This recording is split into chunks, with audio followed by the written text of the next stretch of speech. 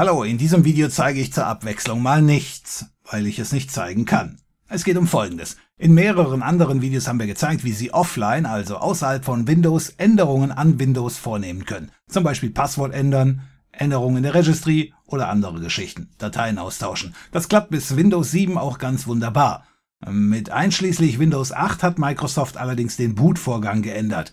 Der Bootvorgang von Windows 3.1, streng genommen seit Windows 1, bis einschließlich Windows 7 dauerte eigentlich immer nervig lange, weswegen Microsoft eine neue Möglichkeit brauchte, den Rechner schneller zu starten.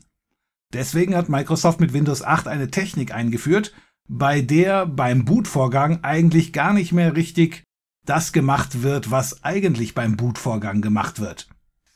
Ursprünglich wurden während des Bootvorgangs natürlich die Treiber geladen, dann die wichtigsten Dateien, die Treiber gestartet und damit die Hardware angebunden. Da 99% aller Startvorgänge aber immer gleich sind, dachte sich Microsoft, dass man den Startvorgang oder für den Startvorgang das gleiche Prinzip anwenden könnte, das man auch schon für den sogenannten Stromsparmodus verwendet. Das heißt, ein Image der Bootdaten wird auf der Platte gespeichert und wenn der Rechner dann startet, dann lädt er nicht mehr die 50 verschiedenen Dateien, sondern startet nur noch diese Image-Datei.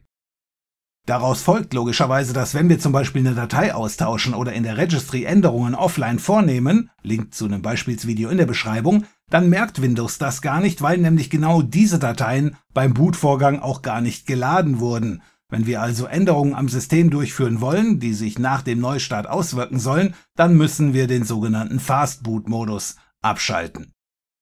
Und genau das kann ich Ihnen hier nicht zeigen, weil mein Windows 8 hier gerade erkennt, dass mein BIOS die Möglichkeit gar nicht unterstützt und deswegen mir die entsprechende Option nicht anbietet. Ich kann Ihnen aber zeigen, wo Sie das Ganze finden. Also, wir gehen erstmal unter Windows 8 in die Systemsteuerung. Da klicken wir drauf, System und Sicherheit und dann haben wir hier Energieoptionen. Da klicken wir auch drauf. Und jetzt haben wir hier links auswählen, was beim Drücken des Netzschalters geschehen soll. Da klicken wir nochmal drauf.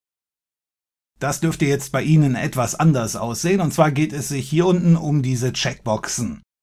Die sehen so aus, als wenn man sie klicken könnte, können wir aber nicht anklicken. Abgesehen davon, mir fehlt die wichtigste Checkbox. Um die hier aktivier- oder deaktivierbar zu machen, klicken wir hier oben auf Einige Einstellungen sind momentan nicht verfügbar. Da klicken wir drauf.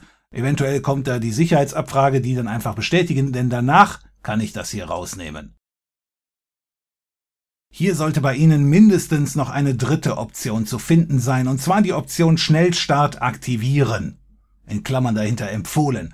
Und solange Sie nichts ändern wollen, sollten Sie das Ganze auch drin lassen. Aber wenn Sie mal von außen an Ihr Windows dran müssen, dann eben hier die Checkbox rausnehmen und den Rechner ganz normal runterfahren bzw. neu starten. Und dann wird auch wirklich nach dem Neustart alles wieder von der Platte gelesen und nicht von dem Image.